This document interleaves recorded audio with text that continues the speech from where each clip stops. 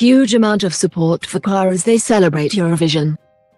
An LGBTQ choir who sang across Liverpool on Monday to celebrate Eurovision and share the joy of their music received a huge amount of support, according to their director.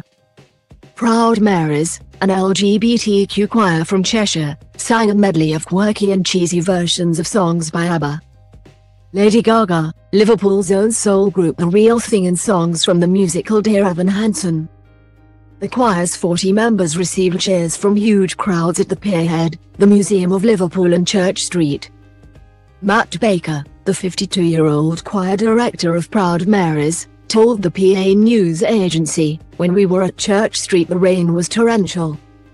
But we were given waterproof ponchos and sang in the belting rain.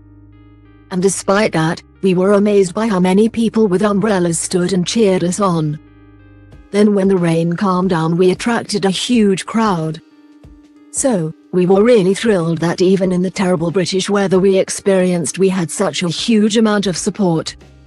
The choir, which formed in 2018 for isolated and older LGBTQ people, even received a huge amount of applause as they made their way out of James Street Station singing ABBA arrangements. That gives you an idea of the huge appetite that there is and appreciation that we were clearly an LGBTQ choir traveling on the Merseyrail and everybody was cheering us on, Mr. Baker said. That feeling was multiplied tenfold when we came out onto James Street in Liverpool. Mr. Baker, who was recognized in the late Queen's birthday honours list in 2021, added there's a real appetite for everything musical and diverse in Liverpool. It was also Mr. Baker's other choir Handbag of Harmonies who encouraged Proud Marys to sing in Liverpool after they performed Eurovision medleys in care homes on Saturday. He said, they Handbag of Harmonies, had such an enormous and warm welcome in Liverpool because of the real appetite for everything musical and diverse in that city. The members of the choir told their friends, Proud Marys, you really need to go to Liverpool to share the joy of your music.